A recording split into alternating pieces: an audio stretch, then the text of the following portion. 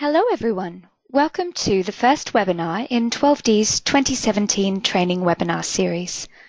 My name is Lisa Stewart and I'm the Marketing and Communications Coordinator at 12D Solutions. We hope you enjoyed our 2016 series as much as we did and that you're looking forward to catching all the exciting topics on offer in 2017. 12D's training webinars showcase common industry challenges, taking a close look at industry best practices and how these can be implemented using 12D Model software. The aim of these webinars is to upskill 12D Model users and broaden their understanding of the capabilities of 12D Model. We run these webinars regularly and record them for posting through our website and on YouTube.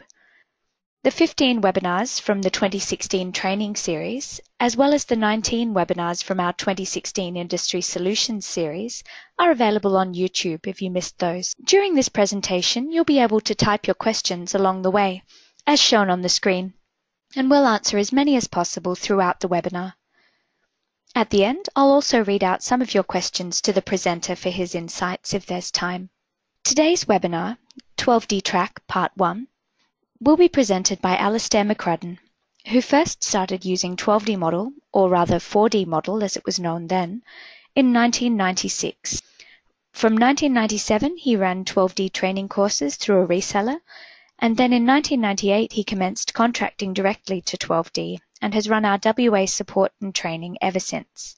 Alastair's vast rail experience includes heavy rail in northwestern Australia and Africa, port facilities relating to rail and ports interface, and passenger rail, the Perth Underground and lots of rural rail network upgrades. He is loath to be called an expert in this subject, but we certainly think the term is apt.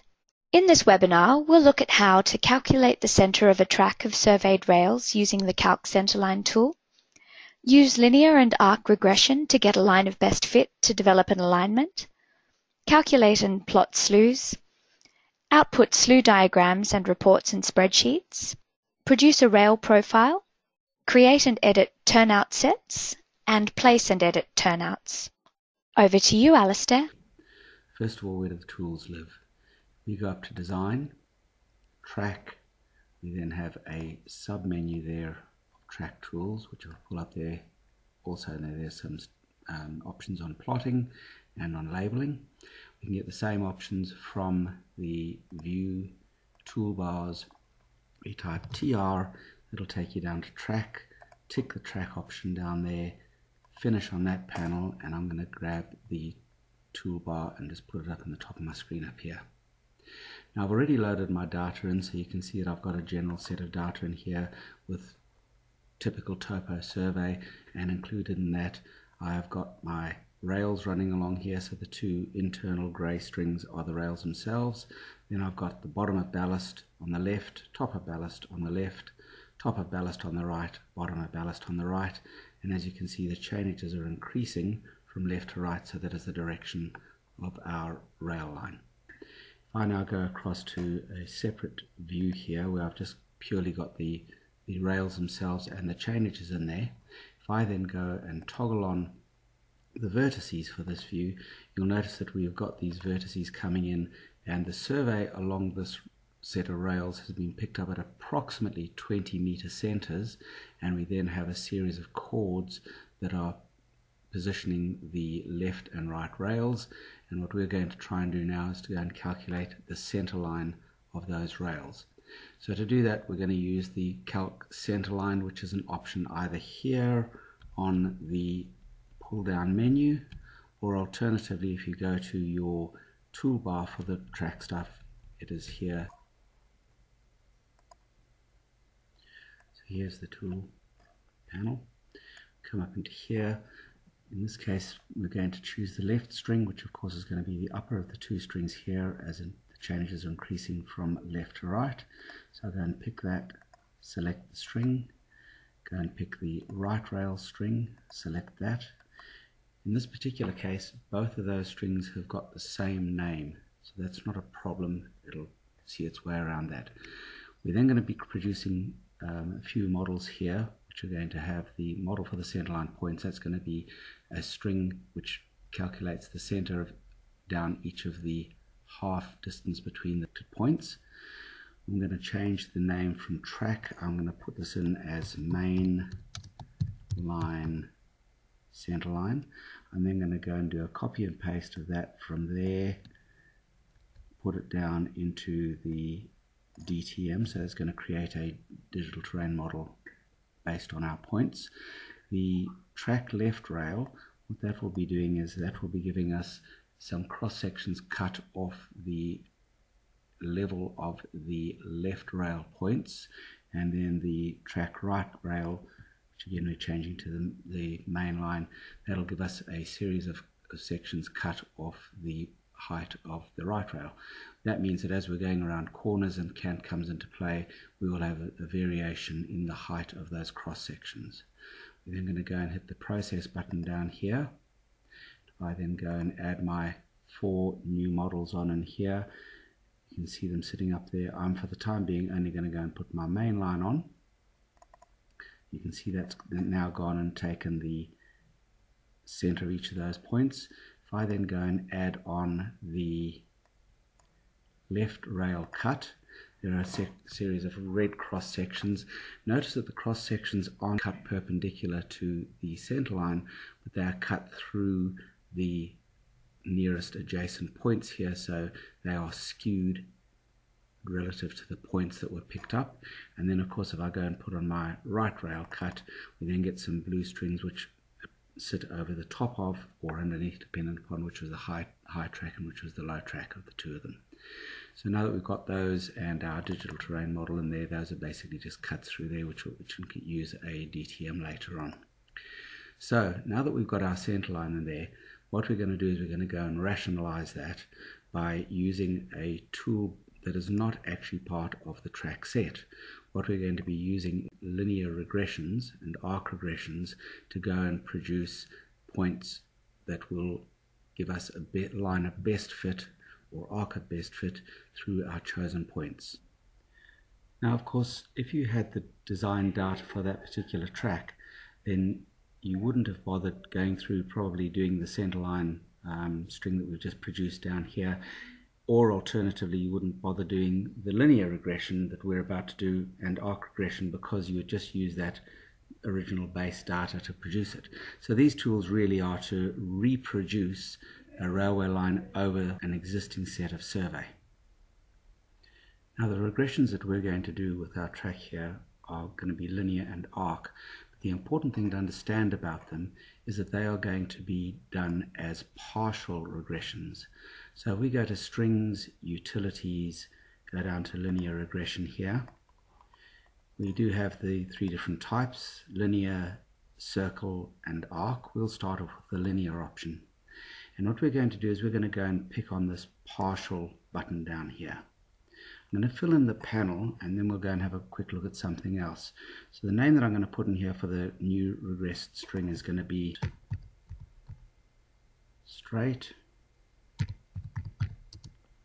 number one. We'll put into a model called regression strings and I'm going to go and give it a color. We'll use magenta nice and bright and stands out on the screen well for us. And then if I give it a report file, basically what that'll do is it'll come back and give me the amount of um, deviation that we had from the string. I'm not going to bother using it in this particular case.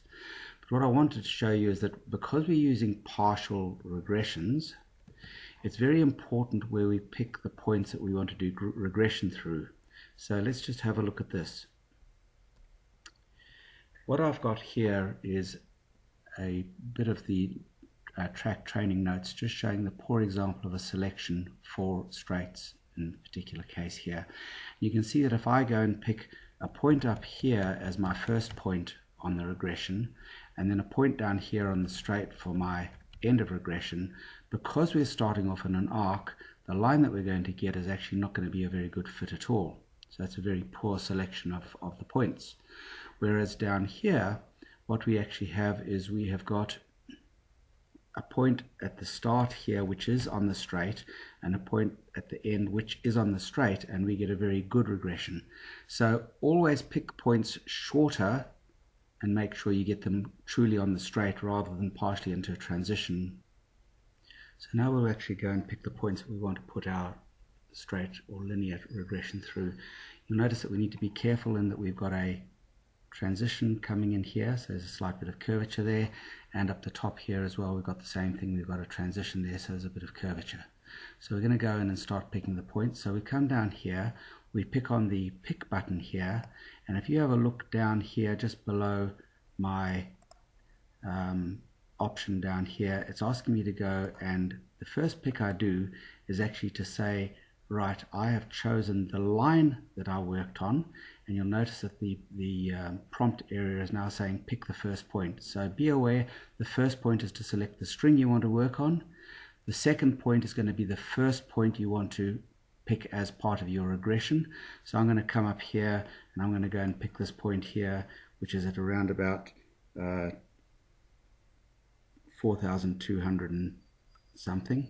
And then I'm coming up here to this point up just short of the 4240. I'll pick that point in there. Then having, that's three picks I've made now for that.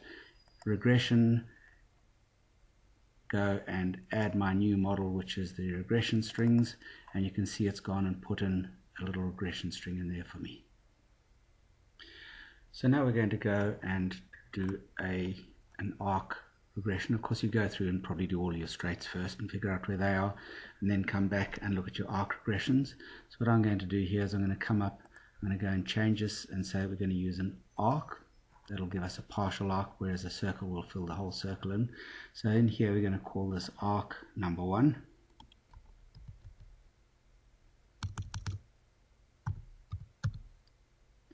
We'll still keep it in our regression strings. I might decide to go and change the color and what I quite commonly do is if I've got compound curves so one's going to follow on from another then I will change the color of each of those curves as they go through there. So looking at this we've got a curve coming in here and there's going to be a um, transition somewhere in here as well. So I'm going to go in and I'm going to go and choose the pick button. Remember the first pick is to go and select the string that I want to work on. So I go and pick my centerline string there it's now saying where's my first clip point. So I'm going to go and pick the point at the very start of the arc. And then I'm going to come around to this point here, which is around about uh, 4110. That I believe is still quite safely on the curve. In other words, not into the, into the transition. Hit regression on that. And what that's done is that's gone and produced a string that looks like that. I can then say that I want to keep it that long I can go and edit the string itself. I can go choose the extend option, pick that point there, drag it back if I want to make it shorter or longer. If it had produced the wrong part of the curve for me, for instance, on the site here, it might have gone and done the lower portion. I could use the same option there. Just do a save and quit on that. And that's produced my first arc regression string. So as I said, you'd work your way through the job producing each of the straights and arcs and then would come back in and build the alignment with element design. For this sort of work it would be just about impossible to use IP based design because we have compound curves which are a nightmare to try and work out in IPs therefore it would definitely have to be the element based design that we would use. Now once you've developed your centerline off the surveyed rails and then gone through and using the super alignment string in the element mode to build your true center line which gives you real geometry both horizontally and vertically. The next thing is we may want to check the slew from the surveyed rail to what we assume is, is a reasonable design on our alignment string. So we'll then use the tools either from your menu option here, slew diagram here, or alternatively from your track toolbar, which is the one up the top here, and this is the slew diagram here. So in order to run the slew, what I'm now going to do is go and switch on my alignment that I've produced. So in this view now I have, if I zoom in here, you'll see that I've got the surveyed centerline, which is the yellow string in a centerline style there. And I've now got my developed super alignment, which is using real geometry rather than the chords as we discussed in the previous video. So I'm going to go and give this a function name. So I'm going to call it rs01mldn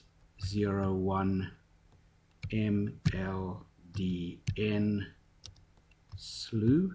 So that's standing for reference string 01 mainline down and the slew option. So I'm now going to go and pick on the surveyed center line. So that'll be the 3D string that was produced from the calc centerline option. I'm then going to go and choose my design alignment string, which is developed off those. When I do that, it auto-fills in the start chainage, the end chainage, the number of vertices and so on. Um, there is an option there to do slew and meters, which I would certainly not recommend using. And then if we hit the recalc slew and go and do a fit on that, we then get this little diagram coming up in the slew area here.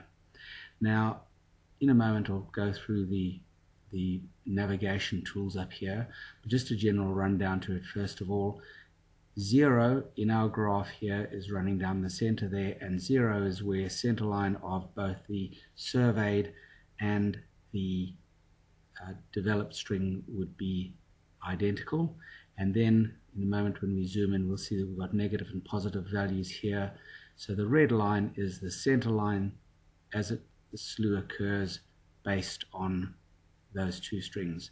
Up here on the top of the screen, we have got the curves on the right-hand side of the track. And down here on the bottom, we've got the curves on the left-hand side of the track. Now, in order to have a look at these um, navigation tools, first of all, the pick option is basically just puts it, if you like, in neutral gear so that nothing, none of the other tools are working. Fit is the same as any other fit in 12D. It says fit the data to the view. The rest of these tools work slightly differently though from the normal 12D. So for instance, if I come down here and I go and pick the zoom window, I can come in, pick a start point and an end point and as I pick that it immediately fills that view for me. So there's no need to pick that third option of which view you want it to happen in because obviously it doesn't doesn't work in this case. This is a graph.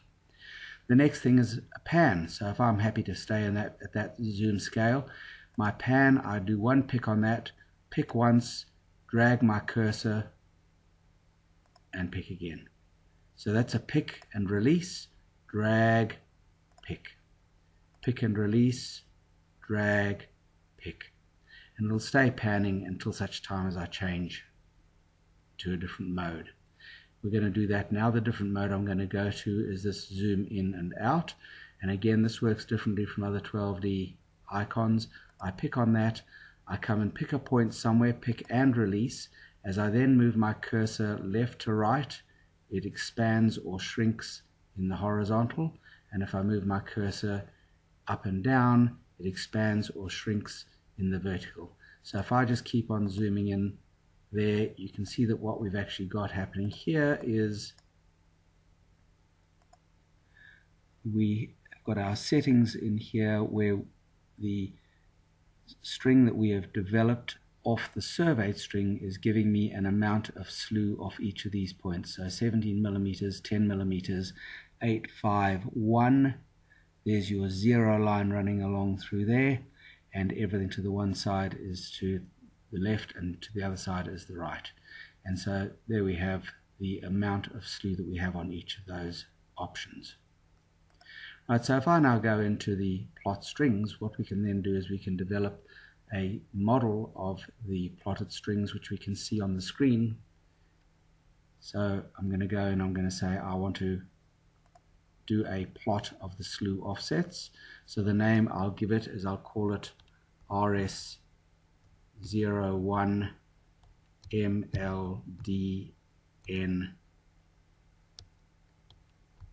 slew offsets. I'll use that same name copy and paste it down into the model. Color of white will be fine and I'll leave a scale factor of say 1 in there. Now I'm going to come across here and I'm going to go and do the plot profile. So I'll go and pick on that. I'm going to go and steal that same name again, except this time instead of it being slew offsets, it's going to be slew profile. So I'll just retype that. And I'll go and copy that down into there, the red, and I'll give a distance offset of 1 there as well. We do have a description of each of the options down here as to what they're going to do. If I now come back and pick on the recalc slew here, that should then run through and I should have some new models up in here that I can go and add on. And I'm going to go and put in the RS01 mainline down slew offsets. And this is now showing me in millimeters the slew that I have. Pull this panel out of the way. You can see the slew that I've got to the left and the right hand side of the string so it's actually showing me where I've ended up in relation to the original survey with my new design string. So here it has pushed the string over by 28 millimeters at this particular point. So that will be your 28 millimeters from there to there. So now that we've had a look at those slews in the view, we might actually wish to go and produce a report of those in one of two different formats. There's a simple method we can use which is not one of the uh, track tools. If you go to report and then go down to the crossfall offset, you can then go and pick two strings in there and you get the chainage off the reference string, the first string that's going to report on, the second string that's going to report on. Most commonly those two would be the same string and then start and end chainage the interval you wanted to report on and basically it'll go through and give you uh, chainages, coordinates and offsets both horizontally and vertically in that report format um, which is going to be useful for you. Not going to use that at the moment as it's not part of the standard track tools. Instead of that we're going to come over to here to the export tab on our slew panel and choose a spreadsheet template. This is a standard file that's shipped with 12D. It lives in your library, so you should be able to go and find that anytime you want to. That's the template file that we're going to use. I'll then give my file name, which again is going to be the RS01 uh, MLDN for the reference string 01 mainline down, and I'll put the slew name after that come in here, pick on the export now. That will fire up Excel in the background. Then what I can do is come in, choose to browse my file, which is this one here. Double click on that, select read, and that data will now start to be read in, giving me the point number, the chainage, surveyed easting, northing, and RL, design easting, northing, and RL, the slew offset, the track lift at each point, versine radius, etc., etc. And on the right hand side of the screen there is actually showing a little diagram of how far things are to the left and the right. We're going to be looking at importing a rail profile. This can be done in a couple of different ways. You could either import a PDF of the rail and provided that PDF had vector data stored in it you can just use that straight away alternatively you'd have to trace over the top of it the second method to do that would be to import a 12DA file which is what we're going to do here so I'm going to go up to the file data import 12D 12D archive I'm going to go to my user library which I've got stored as a configuration on this particular job. And I'm going to come down and pick my rail 60 kilogram 12DA file and then pick on the read button. I then do a swap to my data import view. There is the shape of the rail. And if I go and toggle on my grid you'll see that the 00 is the top riding edge of the rail on the inside edge of the rail profile. This is critical and if you have either imported the data in a different method and or traced over it and your data is not at 0, 0 for that leading edge there, then you'd need to make sure that you put that to 0, 0 and scale the, the size of the rail correctly so that it will be in the right place when you go and extrude these rails along your job. So now that we've read that data in, we can then go and save that away by going from the rail tools from the plot, rail profiles, create. We're going to come up into here, we're going to type in here the type of rail we want is going to be a UIC 60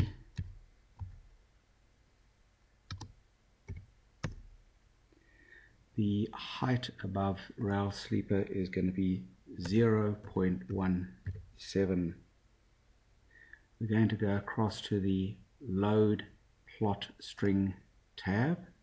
We're going to go and pick on the rail profile string, select the string that we've just imported, accept that, and then pick on the load data button. What that's done for us is it's given us here a graph, XY, and radius, etc. in the table. In the diagram here we can see the shape of the rail that's come in there and then we've already had a look at the load plot string. Across to the file IO we can then go and write that data out. If we had done it we could have read it and directly from there if it was already saved as a profile and we could then go into here and write that out as a UIC 60 rail and write that out for use in, in another project if we so wished. Once with that's all done, the pick on apply and a finish. So now that we've got a rail profile, we're going to go and create a turnout. And the example one that we're going to use here is going to be a 1 in 16 swing nose crossing on a narrow gauge. On my training notes, we've got a bit of geometry for this particular crossing. The geometry dimensions, etc., would normally be supplied by the manufacturer of the particular turnout set, so they will vary dependent upon that manufacturer, and these can't be used as standard. These just give us a basic idea of what it's going to look like when we create the turnout. And when we actually get around to placing the turnout in a little while, you'll notice that the turnout itself is actually going to be placed as a function. The beauty of that means that if the alignment is changed horizontally or vertically once the turnout has been positioned all we need to do is rerun the function and that will adjust the position of that turnout horizontally and vertically. To create the turnout we're actually going to go either from the main menu option here of create and edit turnout You'll notice there are four different variations that we can do with our turnouts and those of course are duplicated up here so we've got the turnout read, turnout write, turnout create edit which we're about to use there and then the place turnout. So when we bring up the turnout create edit there's our tool. We're going to start off by putting in the type of turnout that we want. So this is going to be a NG for narrow gauge. I'm going to put an underscore in there. Then we're going to go to 1 in 16. Again, an underscore. SNX underscore conc. So we'll be putting it on concrete sleepers. The configuration that we're going to have is going to be a basic configuration and then the label that this will appear in our listing as is going to be a 1 in 16 S in X on conc. Now that we've filled in the turnout settings type, configuration and label, we'll go across to the switch design tab. On the switch design tab, what we're going to put in here is the switch straight length and in this particular instance it's going to be 6.1 meters. That's all we're filling in there. We'll move across to the crossing design tab. the crossing design tab we're going to go and fill in the use crossing number here so that's going to be a, a 16 as we're going 1 and 16 once we press enter there you'll notice that down here it's gone and filled in the 1 and 16 and give us the angle of crossing. If you wanted to, you can put in, instead of using the crossing number, you could put in the crossing angle. You just need to be aware that if you were entering that, that would go in as a degrees, minutes and seconds format, so 3 degrees, 2 minutes, 2 seconds, not decimal degrees. From there we can then go across to the closure design and in here we're going to go and set the gauge. This is a narrow gauge so we're coming down and choosing our 1067 the radius of this particular turnout is going to be a 500 meter radius. It's got a lead length of 34.624 meters. The extra toe length is going to be 2.555 the extra heel length is going to be 14.6 and then we can come down here and choose our UIC 60 rail. Once we've read all of those in, we can go and pick on the apply button here. If we then go back to the turnout details, there is a diagram of the actual turnout itself as I showed from the training notes. Over here on the sleeper details, it can be quite a challenge to create the sleepers as there's each individual sleeper's location and length needs to be put in manually. So it's not something you, you would do very often. You'd set it up once and then run with that particular set once you knew it was correct. Now I do have an example one in my data set with the training. So I'm just going to show you what that looks like. If I come out here to my turnouts read and I go and read in the example 1 in 16 turnout with concrete sleepers, read that in. I then go and have a look at my 1 in 16 with sleepers. There is the format of the sleepers. So you've got the name, the type of sleeper it is, the material, the width, the depth, the offset for the start and finish, etc., and end and so on, and that then is built for each sleeper right the way through the turnout. So as I said, not really a task that you want to do all that often. Now that we've produced our turnout, we've produced a 1 in 16 turnout, we're going to look at placing that turnout on our job.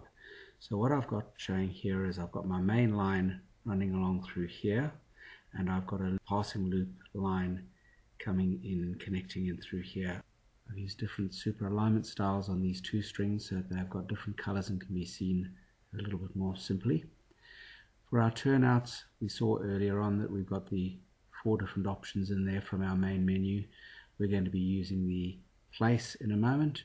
I'm going to go and select my option from the 12D toolbar up here that brings out the turnout place panel. Commonly what would happen with the function name would be that we would give it a line it's associated with and the type of turnout. So in this case I'm actually just going to call it turnout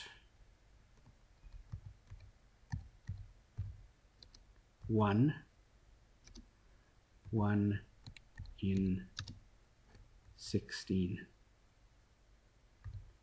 turnout name, I'll go and copy that down and paste it in for the turnout name.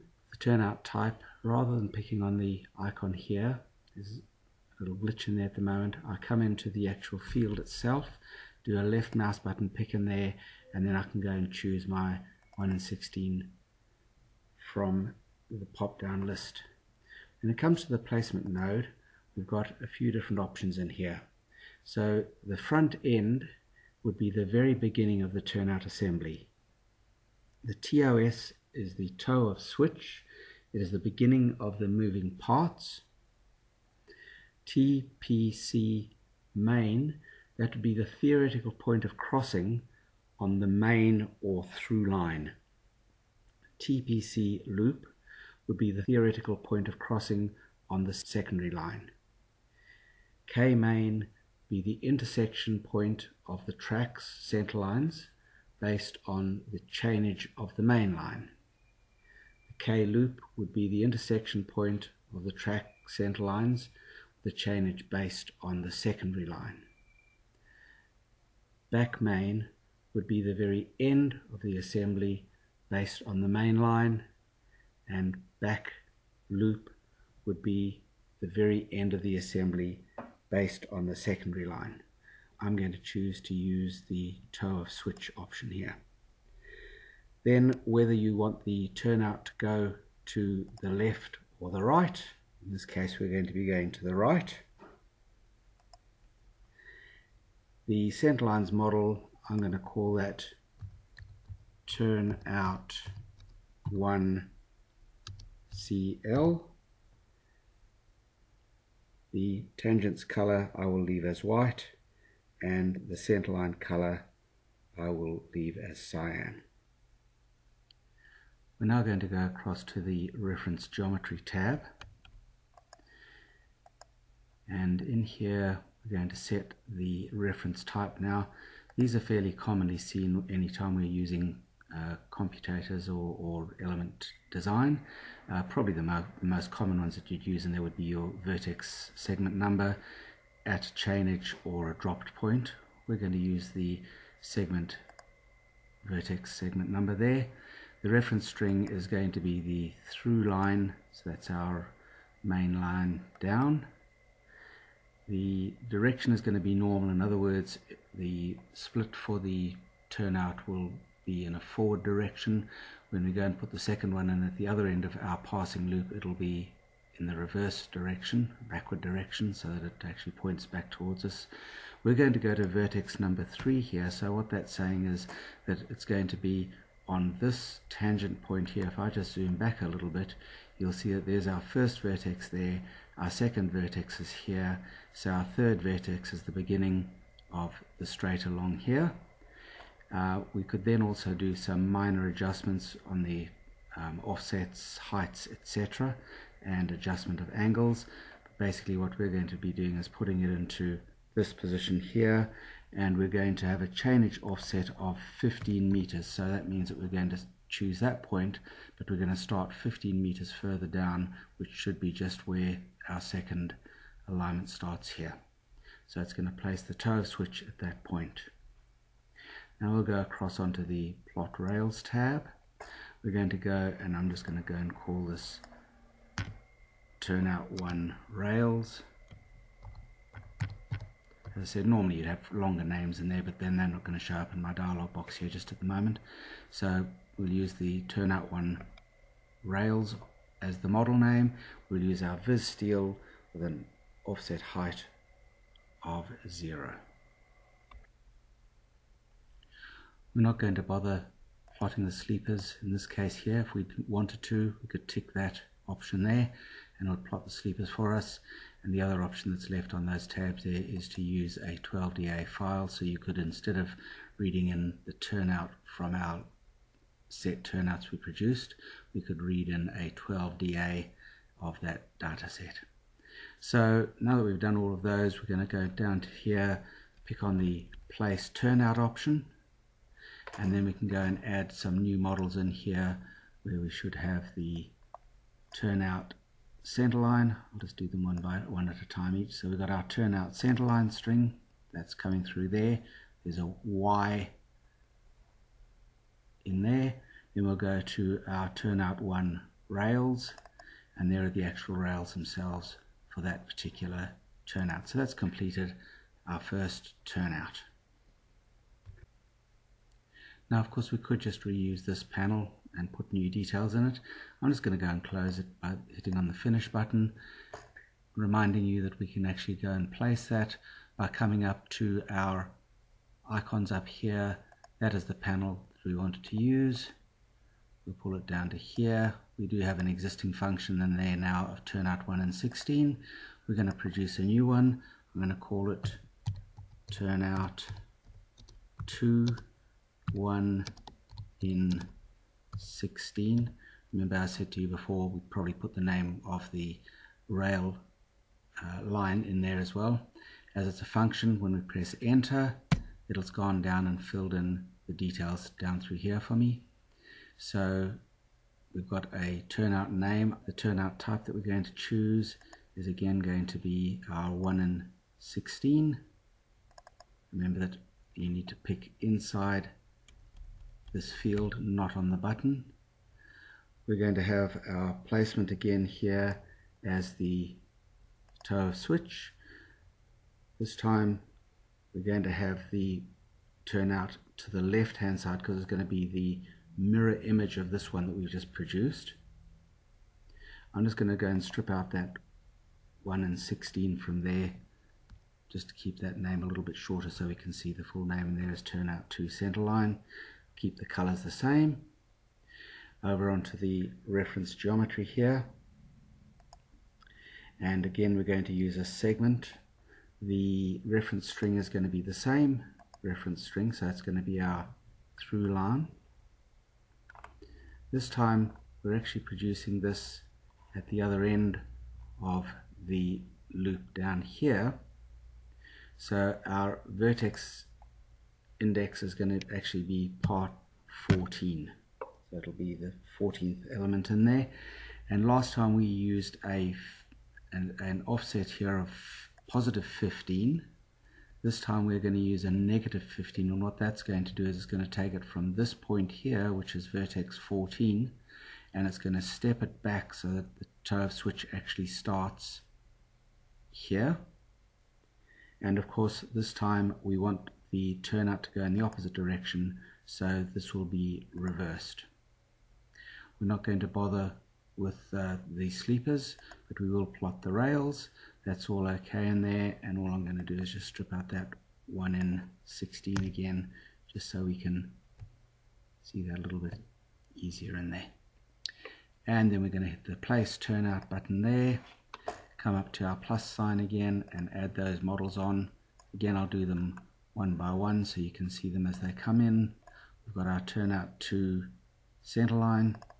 So there's the center line happening in there. Our turnout to rails. And when we zoom in that's placed our second turnout. Now remember that these turnouts are functions. So if the horizontal and or vertical geometry of the alignments changes those turnouts will adjust horizontally and vertically again to match those center lines. Thanks Alistair. Now, I, I think we've just got time for maybe one question before we finish. So, Mark in Brisbane has asked, uh, what happens to the turnout if the alignment changes? Good question, Mark. Um, when because this is a, a, a, function, if each turnout that you place is a function, it means that that is linked to the geometry of the string. So if you go and move either horizontally and or vertically the alignment string, all you have to do is recalc the function and it'll then adjust the horizontal and vertical to match in to the new alignment both horizontally and vertically and uh, should always read from there. Perfect. Thanks, Alistair. Thanks to our audience for your questions. I think um, most of them were dealt with either live um, with typing or um, just then, but if there were any we didn't get to live today, we'll answer you by email later. The recording of this webinar will be available in coming days through our website and our YouTube channel. Our next two training webinars will be 12D Design Fundamentals, Introduction to the MTF on the 2nd of February, and 12D Track Part 2 on the 9th of February. So do see our website for details of those and the rest we've got planned. We'll also continue to keep you posted through email and social media. If you need to contact us in the meantime, our details are on the screen now. That concludes our presentation for today. Thank you for attending and we hope to see you at future webinars.